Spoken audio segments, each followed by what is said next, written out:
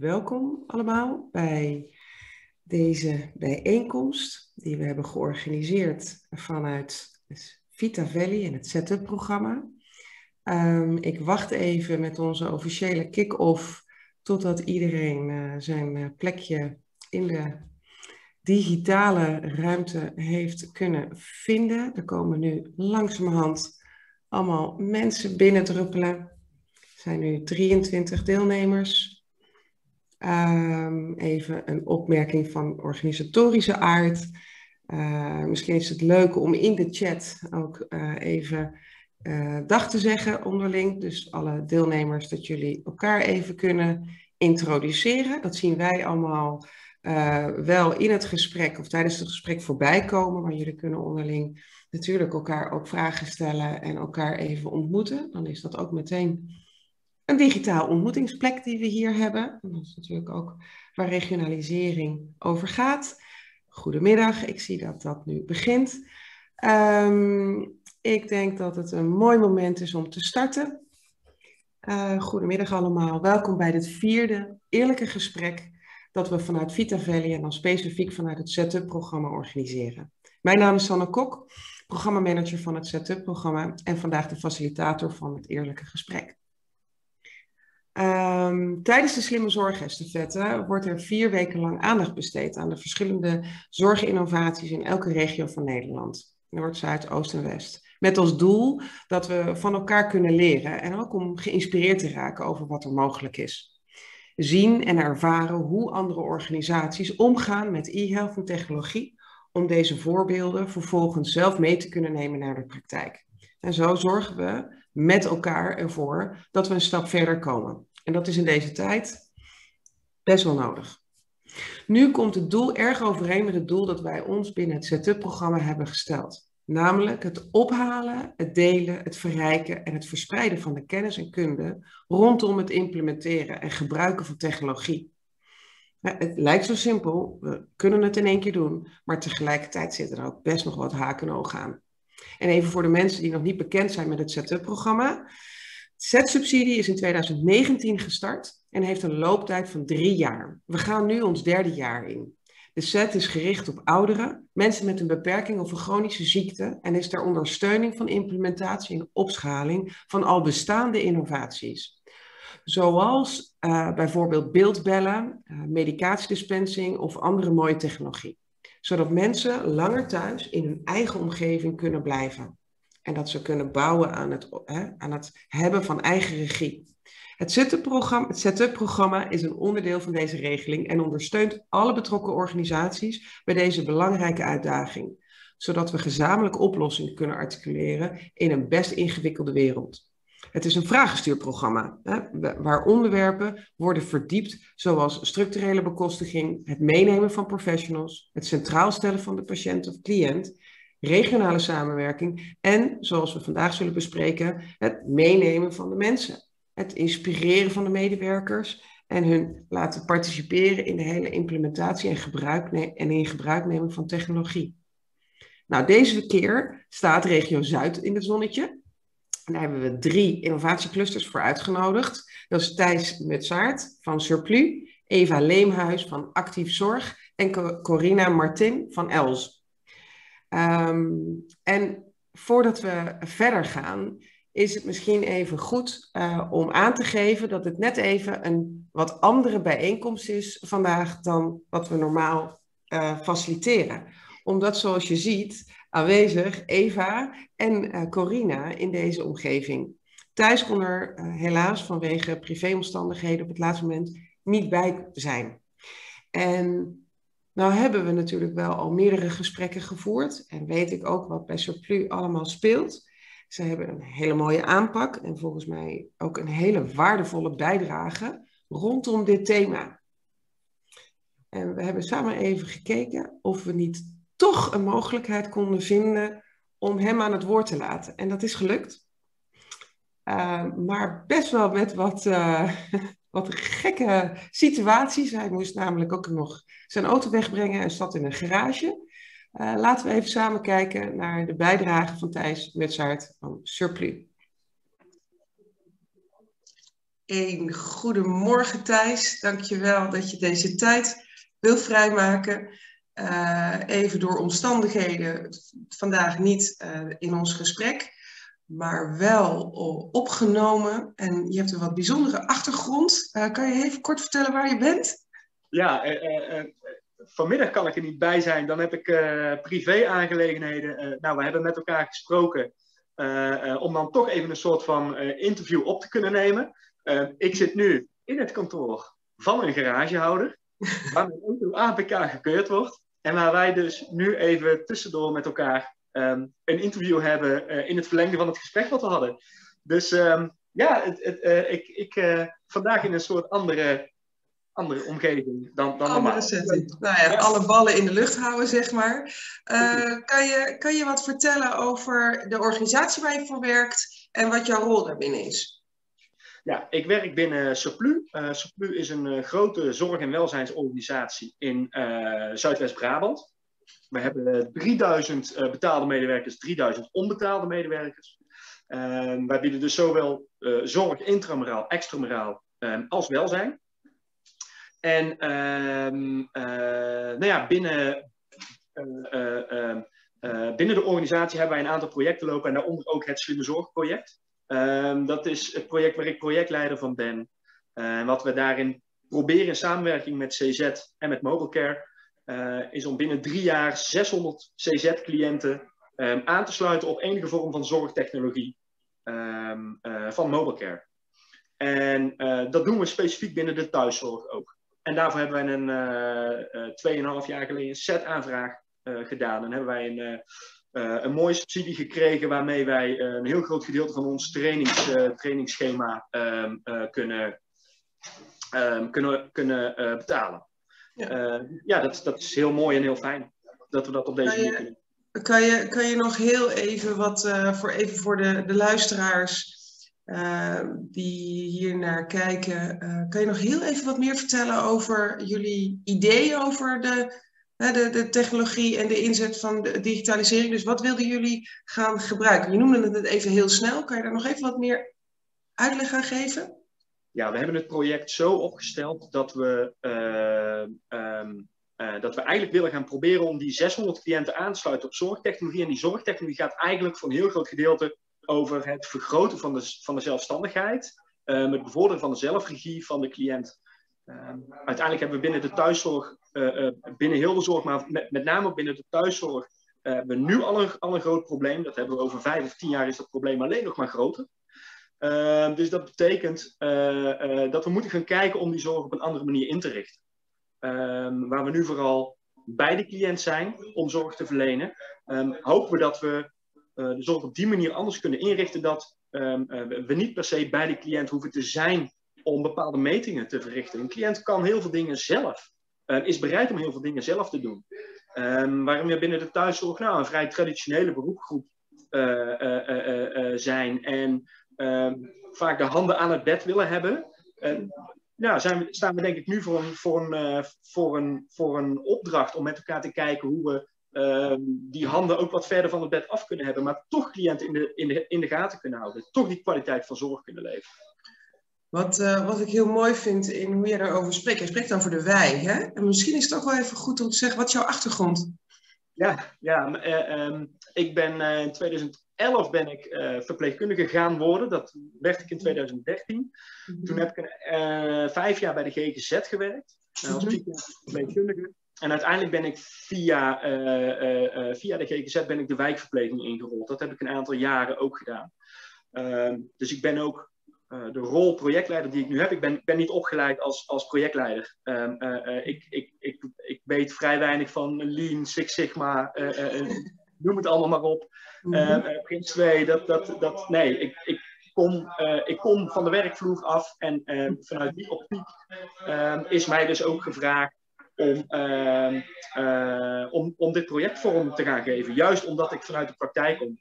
Ja. Ja, en, en, en dat is denk ik ook wel, uh, ook wel de kracht uh, van het effect wat we daar nu van zien.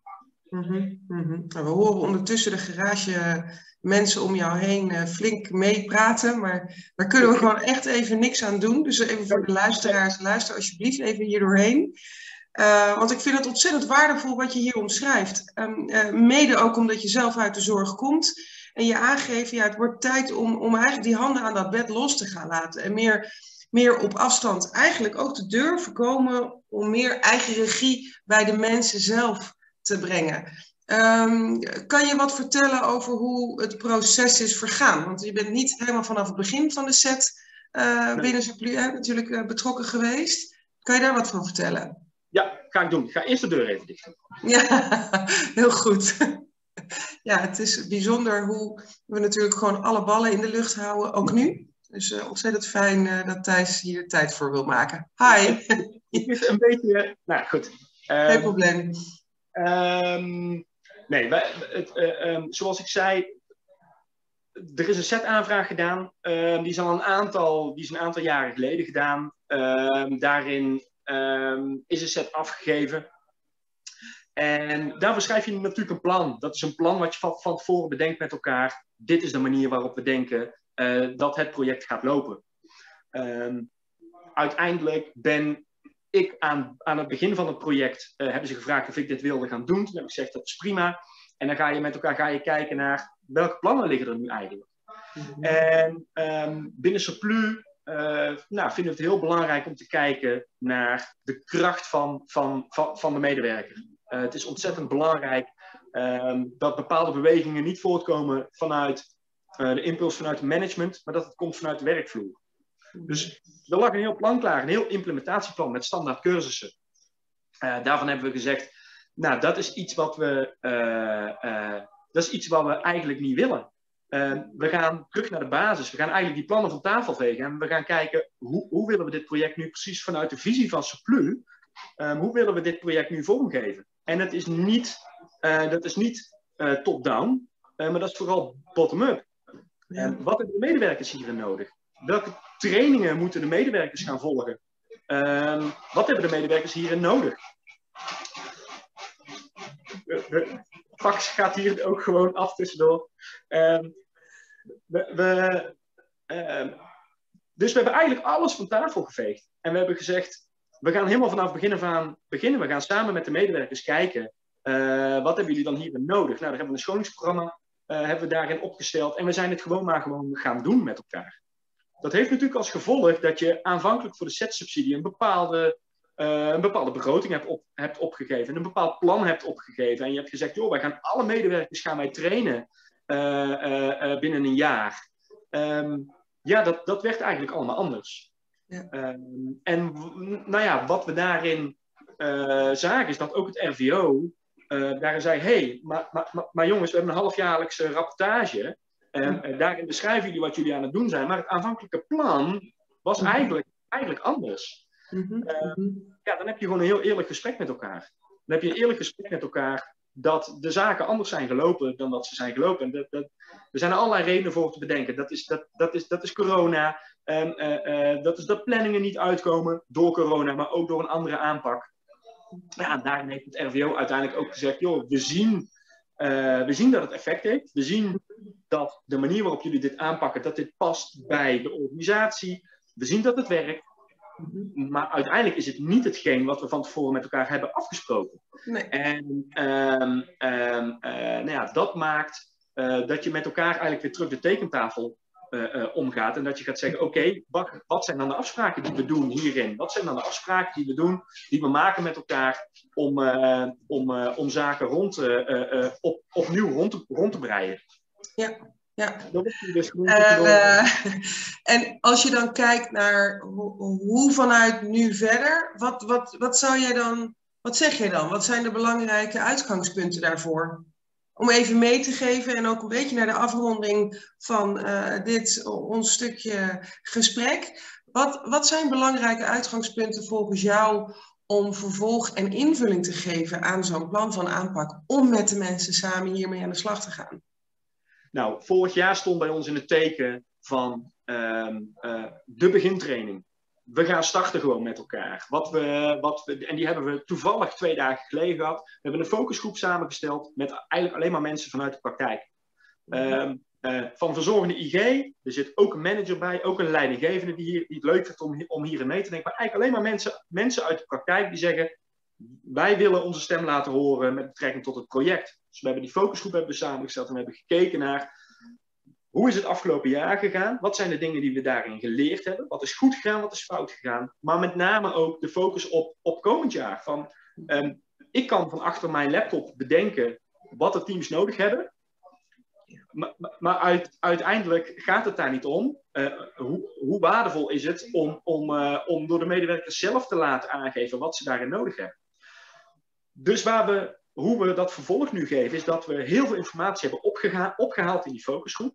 En dat we nu gaan kijken, om die, focusgroep blijft gewoon bestaan. Dus we gaan vormgeven met elkaar. We hebben informatie, die gaan we verwerken. En uiteindelijk gaan we focusgroepbijeenkomsten houden waarin we steeds meer gaan specificeren. Maar wat hebben de teams dan nodig? En, ja, dan blijkt dat, dat, dat teamcultuur heel belangrijk is. Dat uh, uh, de adaptatie van de zorgtechnologie heel belangrijk is binnen die teams. En ehm, wat ieder team daarvoor nodig heeft, dat is nou, soms, soms per team, maar soms ook per medewerker is dat zelfs um, anders. Dus daar, daar gaat de focus voor ons op, op liggen komend, komend jaar. Um, echt op die individuele medewerker. Wat heeft iedere medewerker nu precies nodig om om succesvol met zorgtechnologie te gaan werken. Ontzettend mooi uitgangspunt volgens mij. ja, ik, denk, uh, ik denk eigenlijk wel een cruciale uh, ja, onderlegger dan wel uitgangspunt voor elke implementatie is de, de, de mensen zelf ook meenemen en op maat hè, die ondersteuning te bieden. Um, heb je nog een laatste tip, een laatste tip die je zou willen meegeven aan het zorgveld, de mensen die luisteren. Maar wat, wat zou volgens jou, ja, wat is, je, wat is je, je, het pareltje wat je wil meegeven? Nou, wat denk ik ontzettend belangrijk is en wat we nu dus ook zien in dit project, dit, dit project is top-down bedacht. Um, ook, al, ook al doe je dat, ook al wordt iets top-down bedacht, je kunt altijd, waar dan ook, soms zit het in de hele kleine dingen, um, je medewerkers betrekken. Um, want de, de kracht van het betrekken van je medewerkers en, uh, is namelijk dat het gedragen wordt door de, door de werkvloer. Je kunt, een, je kunt, een, training invliegen en dan kun je zeggen, we hebben alle medewerkers getraind en dan, dan is dat op papier, heb je dat gedaan. Maar of je daarmee iedereen mee hebt, dat, dat denk ik niet. Uh, dus het, het zit hem in de hele kleine dingen. Het betrekken van de werkvloer bij de keuzes die je gaat maken is ontzettend belangrijk om ze mee te krijgen. Ja, super. Mooi. Dankjewel Thijs voor deze korte, krachtige bijdrage voor onze gesprekken vandaag. Uh, en zeker tot de volgende keer. Dankjewel voor de moeite. Succes vanmiddag. Yes. Doei. Ja, super. Dankjewel Dorien voor het delen. Er ging even technisch denk ik even wat fout met het geluid. Ik weet niet of de mensen die luisteren er, er veel last van hebben gehad. Uh, maar in ieder geval een mooie bijdrage. En ik denk dat uh, Eva, dit ook een heel mooi moment is om voor jou om uh, jezelf even te introduceren. En misschien zou je het leuk vinden om ook eens meteen te reageren op waar we nu net naar hebben gekeken. ja, goedemiddag. ik ben Eva Leemhuis. Ik werk als kwaliteit- en beleidsadviseur bij Actiefzorg, thuiszorgorganisatie. Wij hebben een heel groot gedeelte huishoudelijke hulp. We hebben begeleiding en ik werk bij de tak V&V, verpleging en verzorging, um, wijkverpleging. ja, en het verhaal was heel herkenbaar. niet zozeer hoe wij het hebben aangepakt, maar wel um, de, de problemen waar je tegenaan loopt. Hè? En dat je de mensen uit het veld nodig hebt en dat dat je die er vooral bij moet betrekken. Dat, ja, dat heb ik ook gemerkt, hebben wij ook gemerkt. Ja. ja, dan kunnen we zo, gaan we daar wat dieper op in. Ja, dan kunnen we even wat verder op, uh, op, op onderzoeken. Corina, misschien is het ook even leuk voor jou om heel even jezelf voor te stellen. En ook een korte reactie op wat je net hebt gehoord en hoe je dat herkent. Ik ben Corine Martin. Ik ben uh, coördinator bij Eerste Lijn Zorg Achterbrier in Eindhoven. Eind, uh, de Achterbrier is een, uh, een wijk in Eindhoven-Noord met 12.000 inwoners. We hebben een samenwerkingsverband van 150 Eerste Lijns zorgverleners en ook welzijnswerkers. En ik ben daar een beetje de spin in het web. En daarnaast in die functie beheer ik ook een buurtplein, een digitaal wijkplatform. En dat gaat dan over gezondheid en welzijn. En daar bieden we onder andere e-health aan. Dus, en dat is dan gratis voor onze wijkbewoners. En in dat kader hebben we ook die set-subsidie aangevraagd. Mm ja, zou je, ja wat, wat herken je in het verhaal van Thijs? Nou ja, ik, ik vond zijn verhaal wel een beetje anders, want uh, zij waren blijkbaar toch al veel langer bezig. Terwijl ik denk van wij hebben best wel op het allerlaatste moment die set-subsidie aangevraagd. Het was wel dat wij gingen voortborduren op iets wat er al was. Mhm. En ja, voor, voor ons is eigenlijk die set-subsidie juist heel erg een oplossing geweest, omdat waar wij eerst zaten te struggelen, om, om dat, uh, van daaruit echt in een flow te komen, dat het wel goed ging. Dus, ehm, maar ja, er zijn wel een aantal dingen gezegd waarvan ik denk, die herken ik wel, die hadden wij ook wel, ja. Dus inderdaad, mensen allemaal meenemen, dat is wel heel belangrijk. Ja, ja het meenemen van mensen, dat is, uh, is natuurlijk vandaag ook ons thema. Uh, en, en toch is het niet zo vanzelfsprekend. Dus ik vind het mooi om daar vandaag uh, even verder op te verdiepen. Um, Eva, kan jij kort uiteenzetten jullie set-subsidie, waar dat voor uh, bedacht was, hè, hoe je dat hebt opgezet. Dus even eerst uiteenzetten om de luisteraars mee te nemen. Ja, wij, uh, wij hebben drie set-subsidies lopen. Uh, de, de grote set noemen we het, de, de, de gewone eerste, eerste set-subsidie, hebben wij aangevraagd voor medicatieveiligheid. En daarmee hebben we dubbele controle voor medicijnen uitgerold. Uh, en zijn we bezig met uh, elektron elektronische toedienregistratie mm um, voor de gehele organisatie. Mm um, toen kwam er een COVID-set uh, voorbij. Daar hebben we eigenlijk heel kort met het management de tijd voor gehad en bedacht, wij gaan beeldschermzorg daarmee inzetten. Uh, hebben we 30 tablets uh, voor elkaar, nee 60, 60 tablets hebben we, uh, met een applicatie daarop om, om te beeldbellen voor, voor klanten. En toen kwam er SET 2.0, COVID 2.0. Toen dachten we, gaan we ook nog even meepakken um, voor medic medicijndispensers. Dus daar hebben we er 30 uh, voor. Uh, dus, ja, de C met plus. Uh... Het is eigenlijk een, een, een drie sporen beleid wat jullie hebben opgepakt, wat jij hebt opgepakt, want jij bent volgens mij hier de drijvende kracht in.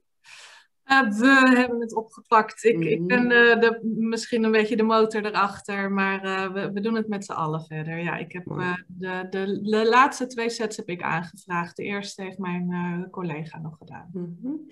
en, en hebben jullie, kan je iets vertellen over hoe heb je het aangepakt? Wat was je plan? Laten we beginnen bij de eerste, want het zijn natuurlijk drie implementaties. Het is een groot proces, programma eigenlijk, wat je met elkaar uitrolt.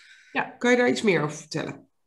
Um, de eerste, dat was um, uh, dubbele controle en elektronische toedienregistratie. Dat zouden we via een applicatie doen, uh, maar toen uh, gingen wij overstappen naar een elektronisch dossier van NEDAP en daar zit dat ook in. Uh, dus dan hebben we eigenlijk de set even tijdelijk stilgezet. Ook uh, bij het RVO nagevraagd, mogen wij met een andere leverancier gaan werken? Nou, daar hebben we toestemming voor gekregen. Ook omdat het dan allemaal in je eigen ECD zit. zit. Dat is ook fijner natuurlijk uh, om daarmee te mhm. werken. Um, dus we hadden wat vertraging opgelopen en uh, afgelopen jaar zijn wij overgestapt met het ECD uh, en hebben we daarna ook vrij snel um, dit weer opgepakt. um, de hele organisatie was al gewend om met dubbele controle te werken, dus dat kon vrij snel gewoon overgezet worden. Iedereen wist al wat ze moesten doen, alleen nou via een andere applicatie. Um, de elektronische toedienregistratie is ietsjes uh, ingewikkelder, want je moet naar alle apotheken toe. Uh, dus dat hebben we nou voor um, ja, een pilotregio hebben we dat gedaan. En ik ben nu in gesprekken met uh, de wijkverpleegkundigen allemaal, zodat mhm. zij dat voor hun eigen team op gaan pakken. En ik heb eigenlijk in dat pilotteam, die pilotregio, heb ik het een beetje uitgevonden samen met de wijkverpleegkundigen uh, ja, waar je tegenaan loopt. En dan ging ik weer naar NEDAP van, oh, we hebben meer informatie nodig voor de apotheken bijvoorbeeld. En dan werd dat ontwikkeld door hen. Um, en zo kom je op, oké, dit werkt wel, dit werkt niet. Uh, en dat heb ik helemaal uitgeschreven. Uh, en nu kunnen de wijkverpleegkundigen het eigenlijk stap voor stap volgen. En dan um, ja, hopen we halverwege dit jaar alle, alle teams over te hebben. En wat, wat, wat kun je waarnemen? Wat werkt daarin? Want ik hoor dat er eigenlijk adaptatie in gebruik nemen gaat eigenlijk vanzelf. Wat, is, daar, wat is daar gebeurd? Um, ja, ik denk dat, het, dat dit, het is iets heel praktisch. Um, Ze vinden het prettig. Uh, de iedereen ziet daar het nut van in. Uh, ze willen zo weinig mogelijk. We hebben een ECD, maar daarnaast heb je een papieren map om daar de papieren toedienlijsten uh, in te doen. Daar wil iedereen van af. Iedereen vindt het erg prettig om met een ECD te werken. En als, als, zoveel mogelijk wat daarin kan, wil je erin. En, en dat ja, is eigenlijk unaniem. Ik heb niemand gehoord die daartegen is. Uh, ik heb ook laatst uh, aan het, aan het wijk, in het wijkverpleegkundig overleg aangegeven van nou, um, het is klaar, het proces ligt er, jullie kunnen aan de slag, laat maar weten wanneer je wil. En iedereen heeft al gereageerd en de meesten heb ik ook al gesproken. Dus dat ging heel snel, daar hadden ze ja, zeker zin in en wilden ze doen. En dan zie je dat het ook... en het is, het is voorbereid, het is ook makkelijk voor ze. Ze kunnen bij mij terecht als ze vragen hebben. Dus ja, dat, dat gaat heel goed. Gaat als een trein. Wat ja. ontzettend mooi om te horen. Hè? Dat zijn die, ik noemde dat bij Thijs eigenlijk ook de pareltjes, waarvan je zegt, nou, hè, mensen zien er het nut van in, uh, beseffen zich ook hè, de optimalisatie van zo'n proces, zo'n zorgproces, waartoe het dient. Um, zou je er nog, een, nog eentje kunnen opnoemen? Dus welke, wat zijn een soort van randvoorwaarden in zo'n proces? Dat de mensen in het veld niet te veel zelf moeten uitzoeken. Dus ja, ik wil het niet voorkouwen noemen, maar wel, wel mhm. voorbereid, zeg maar. Het moet goed voorbereid zijn. Uh, want dan, dan weten ze ook, oké, dit moet ik doen, de stapjes mhm. volgen en dan kom ik er. Want ja, ze hebben nou eenmaal geen tijd om van alles uit te gaan zoeken. Dus ik geef ook aan, ik denk dat ze zich ook wel gesteund voelen. Ik geef ook aan, ja, als er ook maar iets is, bel me, uh, mail me, stuur je vraag door. Ik los het verder op. Je hoeft echt niet uh, in, in gevecht met een apotheek, omdat die niet over wil, omdat hij maar drie klanten heeft en het kost hem geld per maand. Dan ga ik dat wel verder uitzoeken. Um, dus de moeilijke gevallen uh, los, ga ik oplossen. Um, mm -hmm. Ik denk dat dat ook hè, gesteund voelen en, uh, en voorbereid aan het werk gaan. Ja. Mooi, klinkt goed. Hey, en je hebt natuurlijk ook een andere ervaring. Ja, dat, is, uh, dat was de tweede, uh, beeldschermzorg. Dat, dat kwam heel snel op ons pad. Uh, we hadden niet de subsidie aanzien komen. Dus toen die er was, dan hadden we echt drie dagen de tijd om, om een aanvraag te doen. We hadden ook wel begrepen dat er heel veel mensen op zouden inschrijven. Uh, dus dat het potje misschien wel snel leeg zou zijn. Dus we wilden ook niet te lang wachten. Uh, Corine meeknikken, ja. herkenbaar. ja, dus dat ging echt... Uh, nou, binnen een paar dagen stond dat hele plan op papier. Mm -hmm. er was ook een voorbeeldplan hè, bij Vita Valley. Dus ik kan niet zeggen dat ik het helemaal zelf heb geschreven. Ik kon het herschrijven -hmm. van, eh, van het plan. Um, ja, wat, wat we daar, de stap die we hebben overgeslagen daar, is kijken of het uh, uh, uitvoerbaar is voor, voor, voor de medewerkers in het veld. Um, en dat, ik, ik was heel enthousiast en ik dacht, oh leuk, helemaal, hè, corona was net begonnen. Um, je kan mensen op afstand uh, toch nog in de gaten houden. Um, ja, dat bleek toch anders uh, te zijn in de praktijk, bij ons in ieder geval. Mm -hmm. um, want ze, de, de, de medewerkers vonden het vooral erg lastig om te bepalen, ja, bij, bij wie zet ik dat dan in? Mm -hmm. We zijn heel mm -hmm. praktisch ingesteld. Je gaat naar iemand toe, uh, wassen, aankleden, wond verzorgen, medicijnen aanreiken.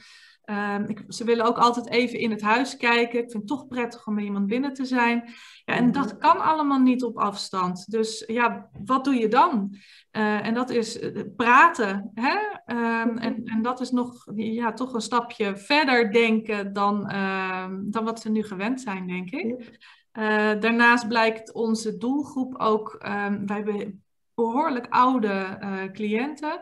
Um, 85, 90, uh, rond de 90 gemiddeld in sommige teams. Mm -hmm. Ja, en, en daar, daar blijkt het toch wel erg lastig. En dan moet je er veel tijd in steken, wat, uh, wat niet uh, beschikbaar was tijdens corona. We willen ook niet dat er te veel mensen bij de klanten komen. Dus ehm, ja, degenen die daar al bekend zijn, die gaan er dan heen. En ehm, ja, als een klant dan, uh, hè, dan heb je er tijd in gestoken en na twee weken zegt hij, nou, het is toch niks voor mij.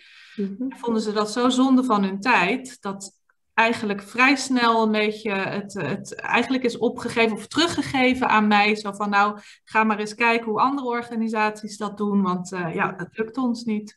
Ook was de, de applicatie was nog een beetje onstabiel. Er is gelukkig een, eh, een nieuwe versie van gekomen, dus dat gaat nou een stuk beter. Mm -hmm. en we hebben in de rest van de organisatie gekeken wat we ermee konden. Dus we hebben ook ergens wonen en zorg met uh, dementerende ouderen Um, uh, die het nu gebruiken om met familiecontact te houden. Dus dat is heel fijn. Ja. Um, en de begeleidingstak is er ook enthousiast van geworden. Dus die gebruiken het bij meerdere cliënten. Want die, die zijn al gewend om meer te praten. Hè, in plaats van mm -hmm. echt fysieke handelingen. Dus daar wordt het ook beter gebruikt. Ik vind dat heel mooi hoe je erover spreekt. Hè? En heel duidelijk ook en open over. Nou, dat kan dus ook. Het kan ook gewoon een keertje niet lukken. Ja. Um, en ik, wat ik uh, meeneem uit het gesprek met Thijs is dat heel erg op maat. Zou dat hier ook in werken? Um, ja, misschien. Je kan natuurlijk per uh, team of te, per wijkverpleegkundige of zoiets gaan kijken van goh, wat, uh, wat zou je hiermee willen? Um, ik denk ook dat uh, wat ik er eigenlijk van heb geleerd, als ik dat mag, uh, mag zeggen, is dat, dat je vooral de medewerkers erbij, vanaf het begin af aan erbij moet hebben. Um, en dat je met z'n allen ook, hè, met de hele organisatie erover na moet denken van wat willen we hier nou mee? Wat, hè, want ja. we hebben zo'n los, oh snel even beeldschermzorg. Mm -hmm. het moet in je visie passen. Wij, wij, wij gaan geluk dichtbij, je ziet het hier mm -hmm. dichtbij. Ja, dan is afstand, op afst zorg op afstand, eh, past dat mm -hmm. er wel bij, hè? -hmm. um, dus dat, dat moet je ook gaan bedenken. Uh, en, en, um, en de draagkracht in, uh, in de organisatie is erg belangrijk. Dus dat je, dat je het met z'n allen doet. Dit was een beetje mijn project. Daar heb je Eva weer met haar tablets. Uh, ja, dat, zo voelde het voor mij. Mm-hmm. Um, ik heb nou afgelopen week uh, voor het eerst een, een, groepje bij elkaar gehad met een paar wijkverpleegkundigen en, uh, um, en een ICT, uh, iemand van de ICT-afdeling, mm-hmm. um, projectmanager daar. en wij gaan nu met z'n allen kijken van weer op het begin beginnen. Wat willen we eigenlijk bereiken? wat is het doel? Wat, wat past in de missie-visie? Hoe kunnen we daarbij aansluiten? Um, en wat is er allemaal op de markt? Mm-hmm. Welke problemen willen we oplossen? En wat vinden we eigenlijk leuk ook? Wat vinden ja. zij nou leuk om te gaan doen? Want ze gaven mm-hmm. aan, we willen, het moet eigenlijk een soort speeltuin zijn. Dus dat we eens een beetje dingen uit kunnen gaan proberen. Mm-hmm. Um, dus daar gaan we nou, uh, die kant willen we op gaan. Dat, dat we een aantal producten hebben waar ze wat niet de hele organisatie in hoeft, maar dat het ene team kan misschien eens een keer zo'n zo'n meekijkbril, zo'n slimme bril. Het andere team wil graag slimme incontinentie proberen. Uh, ja, het hoeft niet overal hetzelfde. Misschien is er ook wel een team waar ik alsnog met mijn tablets terecht kan. ja, nee, ja, maar oh, wat ontzettend mooi. En ik zie Corina ook uh, meeknikken. Dus eigenlijk meer spelenderwijs leren werken met deze mogelijkheden. Ja. Um, dus misschien het moet, het moet geen moeten worden. Het exact. Moet, hè, moet ook iets leuks zijn, een toegevoegde waarde. En dat, dat ze het ook gaan zien van, hé, hey, dit, dit levert wat op. Dit is leuk, dat moeten we overal. En dan heb je een paar mensen die ook uh, ja, door de hele organisatie eh, dat, dat kunnen laten zien. Dat we exact. foto's kunnen maken of een filmpje. En hè, dat je een beetje ambassadeurs hebt in je organisatie. Dat. Die kant willen we graag op. Ja, en je gaat dan misschien natuurlijk ook een beetje weg van het gevoel van uh, uh, het moet allemaal optimalisatie, het moet gaan om optimalisatie, om nog sneller, nog verder, nog beter. Maar nee. dat draagt niet bij. En ik zie in de chat uh, van mijn collega Pim Ketelaar, die daar zegt in, op welke manier kun, kunnen deze digitalisering, kan digitalisering eigenlijk bijdragen aan werkplezier? Dat is natuurlijk een andere benadering. Ja, en, en, aan het geluk van de klant, aan het geluk ja. van de medewerker. Dat, uh, we zeggen ook gelukkige medewerkers geven gelukkige klanten. Um, dus ik denk dat dat heel belangrijk is. Ja, zeker. Ja, en, het, en dat, zeggen, dat zeggen we natuurlijk al, al best een poos. Hè. Dat zijn natuurlijk hele belangrijke uitgangspunten. Maar het klinkt ook als dat het doorleefde lessen worden nu. En dat jullie ermee aan de slag gaan. Dat is wel echt heel mooi. Ja. Dankjewel voor dit stukje in ieder geval. We hebben dadelijk nog, nog meer vragen, maar ik vind het ook wel even heel erg leuk om over te schakelen naar Corina. Corina, inderdaad een ander, um, ander uh, implementatietraject eigenlijk, andere technologie ook. En tegelijkertijd weet ik dat er ook een hele mooie gemene deler is. Dus misschien is het mooi om even uh, ons nog mee te nemen met jouw project. Nou, in ieder geval herkende ik het verhaal van Eva, die zei van uh, uh, het was een laatste minuten uh, aanvraag. Hè, van die behoorde dat het potje snel leeg zou zijn. Dus we hebben -hmm. vrij snel een, een aanvraag moeten indienen. Maar wij vroegen wel iets aan voor iets waar we al langere tijd mee bezig waren. Wij waren al drie jaar een proeftuin van Samen Beter. En in die proeftuin waren we bezig om e-health producten met een, een goede koppeling, single sign-on, om dat aan te bieden op ons wijkplatform. En wij boden uh, ongeveer, ik denk, een, een 10 tot 15-tal um, uh, e-health producten van Mind District aan, dus mentale ondersteuning. En op zich uh, liep dat niet supergoed. We hadden niet echt heel veel bezoekers en we hoorden ook wel eens mensen die zeiden van ja, het zijn allemaal mentale dingen die jullie aanbieden. Dus met de aanvraag deze subsidie die ons zo nog werd toegekend, bestond er voor ons een mogelijkheid om ook andere soorten ondersteuning aan te bieden. Dus we wilden ook uh, apps op lichamelijk gebied, uh, in het welzijn, rouwverwerking, uh, scheiding, geldzorgen. Dat wilden we ook mm. allemaal gaan aanbieden. Dus we hebben onze eerste lijn zorgmedewerkers laten meekijken van wat vinden jullie nou geschikte apps om aan onze wijkbewoners aan te bieden. Zij hebben een lijstje gemaakt en daar is samen Beter die bij ons de projectleiding deden. Die zijn mm -hmm. daarmee aan de slag gegaan om uh, te onderhandelen met de leveranciers. Want wij bieden dat dus gratis aan. Wij, wij hebben die producten vanuit de set betaald. En wanneer je op ons uh, platform een account neemt, dan mag je die gratis gebruiken, die producten. Of een enkele keer moet je dan de helft wel betalen, maar grotendeels betalen wij die producten. Mm -hmm. En ik had daarnaast wel nog een wens, en dat was niet alleen een wens van mij, maar ook vanuit een aantal bewoners. Kijk, we hebben best een heel mooi wijkplatform digitaal waar we deze prachtige producten aanbieden. Maar dat wijkplatform is lang nog niet bij iedereen bekend. Laat staan dat mensen weten wat daarop staat en dat je dat gratis mag gebruiken. Dus een van, van mijn wensen en ook van een aantal wijkbewoners was om ook een stukje van die subsidie te besteden aan uh, marketing, aan reclame van. Jongens, deze producten zijn er. Uh, onze zorgverleners die ondersteunen dat ook, gaan ze gebruiken. Mm-hmm. Nou, dat hebben we gedaan en we hebben nog een heel klein beetje, maar daar ben ik zelf niet bij betrokken geweest, uh, besteed aan beeldbellen. En dat mm-hmm. was dan uh, voornamelijk voor mensen met een WMO die in de dagopvang zitten. Die uh, dus niet meer door de COVID iedere dag naar de dagopvang konden. En die mochten dan ehm, via beeldbellen toch even contact opnemen met hun dagopvang. Maar daar kan ik verder niet zo heel veel over vertellen, omdat ik daar niet bij betrokken ben geweest. Het is met name het stukje e-health op het beursplein en uh, de, de, marketing die ik voor mijn rekening heb genomen. Onder andere, we hebben dat met een uh, werkgroep gedaan. Ja, je, je, je noemt het uh, in deze lijn marketing. maar het is eigenlijk ook het onder de aandacht brengen van de mogelijkheden die er zijn. Hè? Ja. Heb, je, heb je een idee, is daar voldoende aandacht aan geweest? Of heb je het gevoel van, waarvoor is dat nodig? Laat ik het anders vragen. Waarom is dat nodig? Nou, wij dachten dus um, van jongens, kijk eens, we hebben een mooi wijkplatform en wij bieden dit aan. Maar als je keek, we hadden drie unieke bezoekers in een week die überhaupt maar op die zelfzorg keken. En uh, we hadden al aan, aan de zorgverleners uh, gevraagd van zouden jullie dat misschien eens wat onder de aandacht kunnen brengen bij de mensen. We hebben een wijkkrantje waar we wel eens in hebben gezet dat we dit aanbieden. Maar op de een of andere manier kwam dat maar niet op gang. En we hadden wel, um, toen COVID kwam vorig jaar in maart, dat mensen wel uh, wat vaker naar ons buurtplein kwamen. Uh, mm-hmm. Vooral om toch te kijken om informatie op te halen. Maar dat gebruik van die e-health, dat kwam maar niet van de grond eigenlijk. Dus toen dachten wij op een gegeven moment, ja, als ik gewoon op Facebook zit, dan komen er ook allerlei advertenties langs. En na de vijfde keer denk je, oh, laat ik er eens een keertje op klikken. Mm-hmm. En dat is iets wat wij toch uh, nu ook eens keer geprobeerd hebben. En ja, en eigenlijk blijkt wel dat dat werkt. Want wij zijn dus van drie unieke uh, bezoekers in de week, zijn we dus naar 10 tot 15 per dag gegaan. Mm-hmm. Dus het feit dat je die reclames langs ziet komen, maakt dat je toch een keer denkt van, goh, laat ik daar eens een keertje op klikken.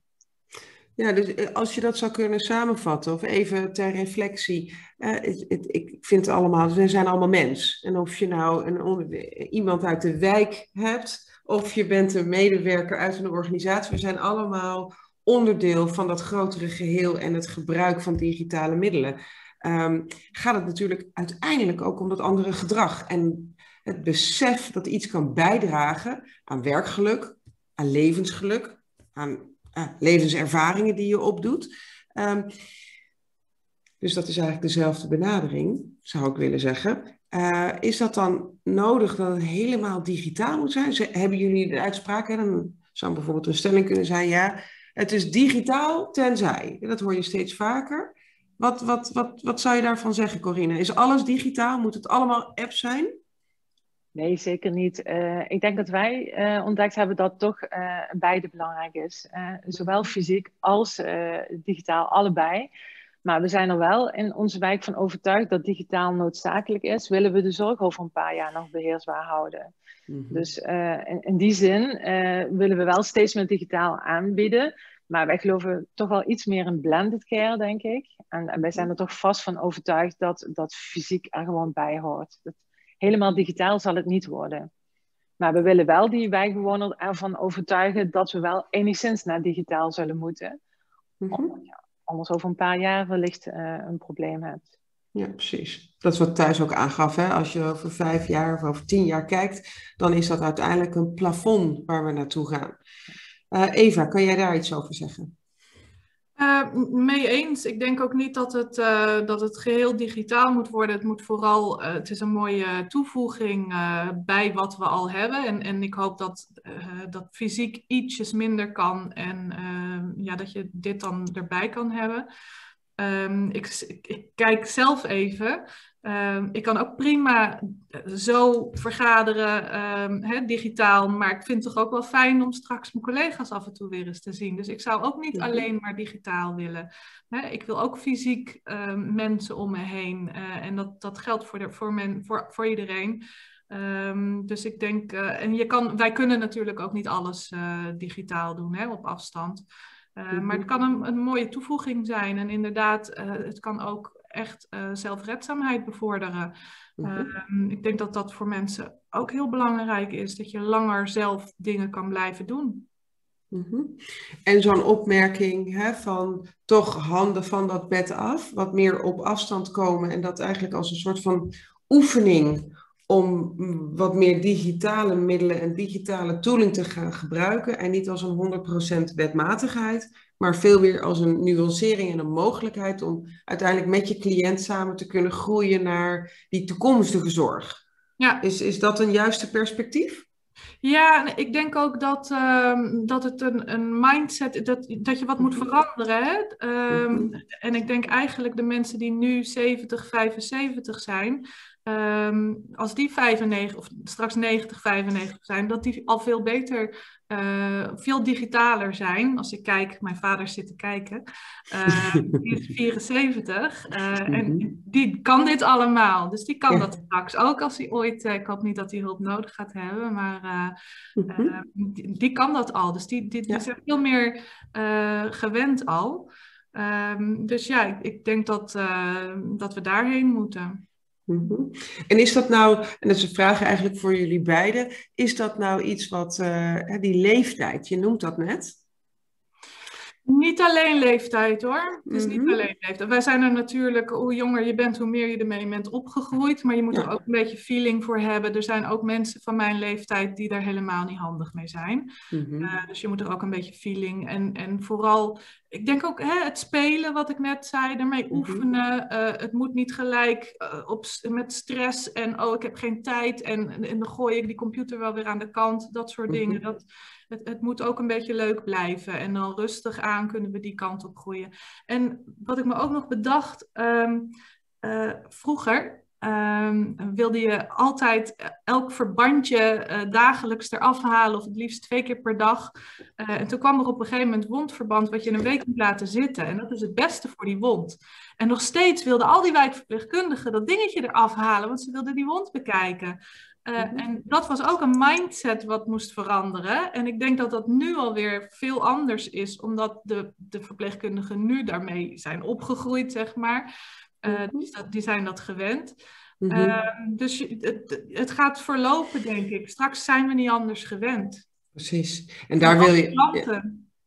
Wat zei je? Sorry, als laatste. Ook, ook de klanten, dus niet alleen de, de verzorgende verpleegkundigen, maar ook de klanten zijn dan Mhm. gewoon digitaal gewend. Ja. Dan is het Ja. niet meer zo vreemd. Nee, dus je hebt sowieso eigenlijk een proces in tijd. Wat gaat helpen om ons allemaal ja, gemakkelijker te laten leren werken met digitale middelen. Ik zat ook nog te denken aan het principe van je wil eh, ondersteunen en die trainingen eh, op maat, ondersteuning bieden, zorgen voor motivatie. Ehm, wat is er volgens jou, en ik, ik zie nu een, een, een mooie vraag ook, wat is er nodig in de opleiding van de, zorgprofessionals? Eh, is dat, is dat eh, juist eh, verbonden met de techniek? Of gaat dat juist ook om die mindset? Dus wat, wat zijn daar belangrijke onderdelen? Denk? Ehm, ja, alle mogelijkheden en, en de succesverhalen. Ik denk dat je echt su- succesverhalen. Ik heb een keer van, van iemand een filmpje gezien die met een 85 of 90-jarige man eh, zorg aan het verlenen was via een iPad. Mhm. Eh, die, kun- die kan dat dus wel. En als ik zo'n filmpje zou kunnen laten zien met een klant die ze kennen aan de wijkverpleegkundige, ik denk dat dat ook echt wat doet. Dus Ja. Ehm, ja, succesverhalen en, en wat het oplevert. Dus oké, we moeten er even in investeren. Uh, maar als zij zien wat het oplevert, dan doen ze dat graag. We hebben de, het derde project wat we hebben is de medicijn dispenser. Ja, dat gaat, dat gaat als een trein, omdat ze gewoon weten wat dat oplevert en bij wie ze het. Het is heel duidelijk bij wie je dat kan inzetten. Um, ja, en, en dat loopt ook weer heel erg goed. Heel mooi. Corina. Daar hard voor. Ja. Wat zei je? Daar is? Daar, daar willen ze graag alle tijd in. Ja, mee aan de slag gaan. Ja, precies. Dan, dan heb je ineens wel tijd. Omdat je weet, ja, dit is nuttig, dit heeft uh, prioriteit. Daar wil ik uh, mee aan de slag. Het heeft een belang ook voor de persoon zelf. Even aanhaken op het, uh, het verder brengen van voorbeelden, zoals je dat net aangaf. Dat in de marketing, en daarom kijk ik ook weer even naar Corina, is dat het storytelling, het, het, het doorgeven van mooie voorbeelden is cruciaal bij dat gedrag veranderen. Dan, eh, waartoe gaat het ons brengen? Wat is die stip op die horizon? Die heb je af en toe, die, die weg naar dat einddoel heb je af en toe ook gewoon nodig om gemotiveerd te raken en elke dag te denken, nou huppatee, daar ga ik mee aan de slag. Uh, Corina, en er is voor jou in de chat ook een, een, een vraag gekomen. Ik zit even te kijken, ik werd erdoor geattendeerd. Uh, voor Corina, goed om te horen dat de marketing gelukt is uit het te voeren uh, met betrekking tot de subsidie en ook effect heeft gehad.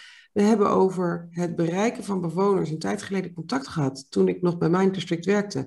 Leuk om nu terug te horen en je hier tegen te komen. Maar dat is geen vraag, dus dat is...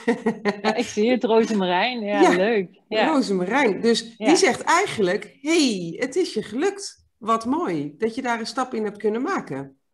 Ja, daar ben ik zelf ook super blij mee. Want uh, uh, ik heb het ook in de voorgesprekken met jou wel eens gezegd van... Uh, het is een kwestie van tijd en hele lange adem. Want wij waren al drie jaar bezig voor die stadssubsidie. En ik geef heel eerlijk toe dat ik me wel eens op momenten heb afgevraagd van zijn wij niet aan een dood paard aan het trekken? Willen wij niet iets waar de wijkbewoner misschien helemaal niet op zit te wachten of zo? Mm-hmm. Maar ja, je bent, je bent zo zoekende en je, je weet het eigenlijk niet. Dat is ook wat, wat Eva net aangaf, van je moet ook af en toe kunnen proberen en fouten kunnen maken. En, en, dit was, was iets wat we heel graag wel wilden, maar waar we toch een tijd lang de mogelijkheden niet voor hebben gehad, omdat het geld er gewoon niet was. Mm-hmm. Dus we dachten van, ja, we gaan het nu toch maar eens een keer goed in de markt zetten. Van ja, en het lijkt wel te werken. En we willen het hele komende jaar nog uh, gebruiken om te proberen van, um, is, is het ook echt zo van dat dat op de lange termijn ook echt nog iets doet? En, en dat dit misschien toch wel de oplossing is? Dat je op deze manier uh, ja, toch een soort van gedragsverandering bij mensen teweeg brengt. Hè? Ja, het gevaar is natuurlijk op het moment dat het niet gebruikt wordt, dat we dat vertalen als weerstand. En ja. ik vraag me eigenlijk wel af, is dat weerstand of is dat eigenlijk onbekendheid of het niet weten hoe je het moet toepassen? Dus Eva, wat jij eigenlijk aangeeft. Kijk, op het moment dat je weet waarom, waartoe, waarvoor en voor wie, uh, klinkt het als dat het dan makkelijker hè, geadopteerd of aangepakt en opgepakt wordt. Logisch ook. Uh, en, en juist dat wat onbekend is, nou ja, daar is zo'n uitspraak over. Uh, wat hij niet lust. Hoe was het ook weer? Ik ben nooit zo goed en ik haal de dingen altijd door elkaar. En haar onbemind. Ja, dus uh, het bekend, het laten zien wat ermee mogelijk is, geeft ruimte om te proberen. En dan is een voorwaarde die ik door jullie beiden hoor uh, zeggen, is eigenlijk ook, je moet tijd nemen, je moet geduld hebben, je moet er zichtbaarheid aan geven en je moet kunnen falen. Dus je moet ook het een keertje niet kunnen en dan niet denken, maar hemel, we zitten fout, het is verkeerd, dit gaat hem niet worden. Maar dan vervolgens terugkijken en ervan leren. En wat, zijn, wat is dan een. Is dat, is dat iets lastigs in, in, in de organisaties? Zijn dat processen die lastig zijn? Hoe, hoe zien jullie dat? Het, het, het falen en, of tenminste, het leren. De lerende omgeving te hebben. Ja, het is zorg. We zijn ook gewend natuurlijk aan een hoge kwaliteit. Nee, omdat, nee, bij ons niet in ieder geval. Ehm, ik had het er persoonlijk even moeilijk mee dat het niet liep. Uh, omdat ik dacht van, wat heb ik nou fout gedaan? Maar mhm. ehm, ja, ik denk dat we, dat we gewoon met z'n allen een paar stapjes over hebben geslagen. Uh, omdat het zo snel ging. Um, uh, en daar heb ik zeker van geleerd. Dus ik heb het in het volgende project ook heel anders aangepakt. En ik ben nu weer voor de tweede keer begonnen, uh, of tenminste, ik, ik, ga kijken of ik die tablets, of ik daar nog wat mee kan. Um, en ik heb nu wel die werkgroep heel anders aangepakt. Dus andere samenstelling, ander begin. Ik heb ook afgesproken van jongens, Ehm, we gaan wel, um, we moeten eerlijk met elkaar het erover hebben. Als we ergens tegenaan lopen, gaan we op zoek naar een oplossing. En dan gaan we weer verder. Want zo zie ik een pilot. Hè? Je bent er niet mhm. meteen. Je kan eerst, we kunnen best ergens tegenaan lopen, maar dan gaan we dan oplossen. En dan lopen we weer ergens anders tegenaan. Maar we gaan het niet zomaar opgeven. En misschien dat we met z'n allen beslissen van oké, dit is het niet voor ons. Dit past niet bij de, bij de klant of bij de organisatie. Dan houden we ermee op, maar dat doen we samen. En het is niet dat ik ineens dat ding weer teruggeschoven krijg. Dat, uh, dat hebben we nou wel afgesproken. Ja. Nou, dat zeg blijven. Ja. ja. Wat zei je? En? Het moet leuk blijven, het moet een doel hebben. Dat vinden, vinden ze zelf heel belangrijk. Van ja, we, willen dat het waarde toevoegt. Um, ja, dus het moet niet zomaar, oh, omdat iedereen uh, beeldschermzorg gebruikt, willen wij dat ook. Nee, het moet voor mhm. ons ook passen. En wat je ook net aangaf, het moet ook passen bij de visie die we met elkaar hebben. Dus dat het ook aansluit bij je uitgangspunten van een initiatief. En dat je hè, zuiver blijft op dat wat je dan kiest en welke toepassingen je dan wil gaan gebruiken. Um, even in, in het kader van tijd, want het is elke keer zo tot nu toe dat de gesprekken gewoon voor zijn tot veel verdere verdieping en, en uh, verkenning. Um, ik was benieuwd, hebben jullie nog, ik heb het ook al aan Thijs gevraagd, hebben jullie nog een laatste tip of advies uh, of een hart onder de riem die je zou kunnen meegeven aan je collega's in het werkveld en onze uitdaging om de zorg nou ja, te digitaliseren en te ondersteunen in hun transformatie? Kan je daar iets, nog een laatste tip in geven? Eva. Nou, ik, ik zou wel wat meer um, organisaties onderling van elkaar leren. Uh, dat doen we wel een klein beetje, ook via dit platform onder andere. Uh, maar, maar dat je gewoon ook publiceert wat je hebt gedaan en wat je ermee doet met een, met een toepassing. Want ja, we, zijn geen, we zijn niet echt concurrenten. Hè? We, we zijn collega's, noemen we dat, uh, geloof ik. Maar uh, we doen het met z'n allen. Uh, doen we de zorg voor heel Nederland. Dus ja, als het ergens goed gaat, deel dat vooral met elkaar. Dan kunnen wij daarvan leren. Ja, ja er is een soort schroom hè? daar nog proefbaar en voelbaar. Het is juist de bedoeling om, en dat is ook wel de, de kenmerk van het setup-programma, of een belangrijke waarde die we daarin uh, voort willen zetten, um, is dat we de kennis met elkaar delen. En dat je het uitwisselt en zichtbaar maakt, zodat je met elkaar die volgende stap kan maken. Dat is zo'n cirkel die omhoog gaat. Dan, dan heb je die geleerde lessen, dan kan je als het ware op elkaar schouders staan om weer verder te bouwen. En dan kom je ook verder. Soms kan je individueel met je eigen eh, programma of eigen organisatie sneller gaan. Maar je, de, de verdieping en de mogelijkheden die worden groter op het moment dat je samenwerkt en het samen doet. Het is mooi dat je dit aangeeft, Eva. Dus ik, uh, ik hoop dat de luisteraars dit uh, nou, in, de, in, de, in de pocket meenemen en in de rugzak meenemen. Corina, nog een laatste voor jou. Nou, sowieso sluit ik me aan bij Eva. Maar wij waren sowieso al van plan om met een aantal mensen eens te kijken of we dingen konden uitwisselen. Maar wat deze week ook in onze werkgroep, want we zijn nog deze week wel even digitaal bij elkaar geweest. Ehm, neem vooral de tijd. Uh, wij hebben toch echt wel gezien, hè, want je denkt op een gegeven moment, na, als je al drie jaar bezig bent, van goh, we zijn er nog niet. Je hebt misschien wel het idee van het gaat er niet meer worden. Maar in ons geval zag je hè, dat het na vier jaar toch wel lijkt dat het toch de goede kant op gaat. Dus neem vooral de tijd en maak desnoods een keer fouten, maar geef niet te snel op. Ik denk dat dat toch wel de boodschap is die wij het meeste willen meegeven op dit moment. En het is ook wel fijn, um, uh, deze dingen kosten allemaal geld. Dus je hebt toch wel ergens een potje subsidie nodig. Dan hebben we nu dan die COVID gehad. Maar je hebt wel voor dit soort innovatieve dingen, het moet wel een potje geld zijn. Dus mm dat zijn wel dingen die je nodig hebt. Ja, dus de, de, de impuls om, om zo'n innovatie of een nieuw plan, hè, wat Eva net ook aangaf, met, ik vond het wel een mooie omschrijving. Nou, en toen kwam COVID 1.0, zet COVID 1.0 zomaar voorbij. Uh, dus je, en dan daar sta je, stap je op in. Het is natuurlijk een heel, een heel gekke dynamiek. dat je bijna door de subsidie aan te vragen in beweging komt om te digitaliseren. Terwijl dat je eigenlijk eerst een visie wil ontwikkelen op digitalisering, om vervolgens te kunnen zeggen, nou, daar gaan we nu dan mee aan de slag, maar dan moet je net een subsidie hebben die je kan ondersteunen. Ja. En draagkracht en de mensen mee hebben enzovoorts. Dus het is natuurlijk best een complexe uh, veld. We hebben met de set en de setup volgens mij een hele mooie dynamiek uh, en mogelijkheid en momentum om al deze facetten met elkaar te delen. En ook de vervolgstappen in kaart te brengen en elkaars verhalen verder te delen. Daar was ook dit, uh, dit gesprek uh, initieel voor opgezet om alle kennis en kunde die jullie weer hebben opgehaald uh, ook weer verder te brengen. Dus ik wil jullie bedanken voor je tijd, je aanwezigheid, inzet en ook even hè, dat spannende moment. Toch goed gedaan. Uh, wat misschien even mooi is om aan te geven binnen onze set-up community, wat we op de agenda hebben staan, gaat over de bootcamp uh, aan de slag met social return on investment, dus SOI, um, ehm, verder uit te werken. Dus daar komt dan later een replay naar buiten, die dan weer breder gedeeld wordt. Het gaat echt over de, de financiering en de verschuiving van de financiering, om dat goed in kaart te kunnen brengen. 23 maart hebben we de meetup opleiden en inzetten van digi-coaches.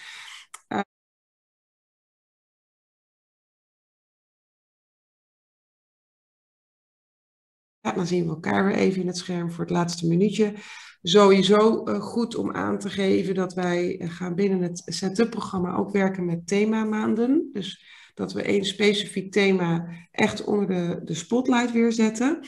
En één van de thema's volgende maand is structurele bekostiging. Een thema wat natuurlijk ook veel besproken is. Uh, en, en, de maand daarna gaan we het hebben over uh, het, het, delen van lessons learned voor de zorgprofessionals. Het meenemen, het inspireren, het motiveren en alles wat daarbij komt kijken. Dus bij deze, Eva en Corina, wil ik jullie daar ook van harte weer uitnodigen om mee te doen. Om daar de kennis en kunde die jullie hebben opgebouwd, om dat verder te brengen. En voor nu ook voor de, de deelnemers in de chat ga ik nog even snel kijken. Is nog een, een, een, laatste minuutje en een laatste vraag. Hè. Dat is, wordt gezegd van nou, heel mooi positief verhaal. Ik vroeg me wel af, is er niet een soort app-moeheid die ontstaat? Uh, ik vind dat wel een, een, een mooie om in het vervolg dan te gaan beantwoorden, zodat we daar ook in de replay, want uit deze bijeenkomst maken we weer een replay en die zullen we ook weer verder delen, zodat we dit soort vragen nog kunnen beantwoorden. Voor nu, dankjewel voor de aanwezigheid, een fijne middag en tot de volgende keer.